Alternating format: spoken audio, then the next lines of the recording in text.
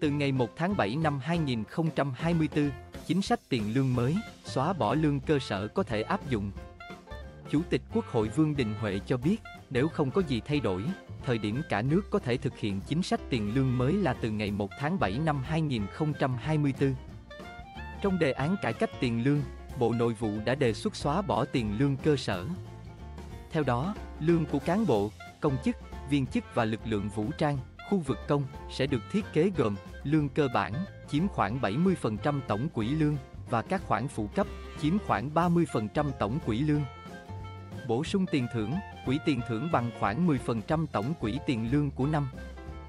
Không bao gồm phụ cấp.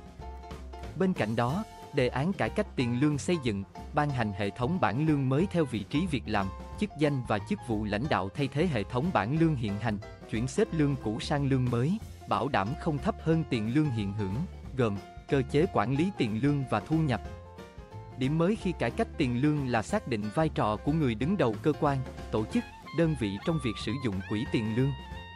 Theo đó, người đứng đầu được sử dụng kinh phí chi thường xuyên được giao hàng năm để thuê chuyên gia, nhà khoa học, người có tài năng đặc biệt thực hiện nhiệm vụ của cơ quan.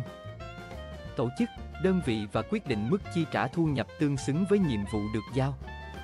Điểm mới khi cải cách tiền lương là xác định vai trò của người đứng đầu cơ quan, tổ chức, đơn vị trong việc sử dụng quỹ tiền lương.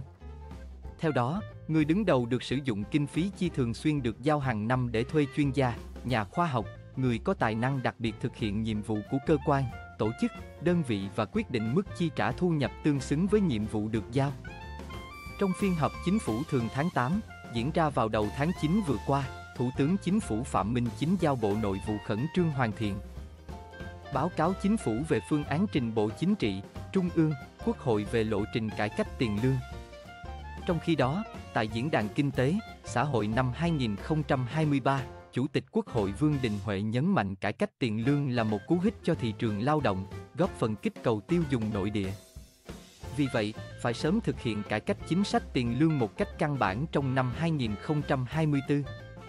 Chủ tịch Quốc hội cũng chỉ rõ, đây là cải cách căn cơ chính sách tiền lương, không phải tăng lương bình thường định kỳ. Nếu không có gì thay đổi, thời điểm cả nước có thể thực hiện chính sách tiền lương mới là từ ngày 1 tháng 7 năm 2024.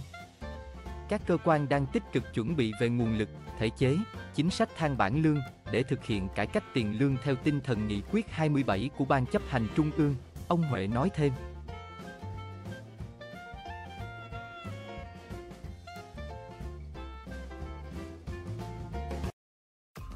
Cảm ơn các bạn đã theo dõi video, đừng quên nhấn đăng ký để ủng hộ đội ngũ kênh.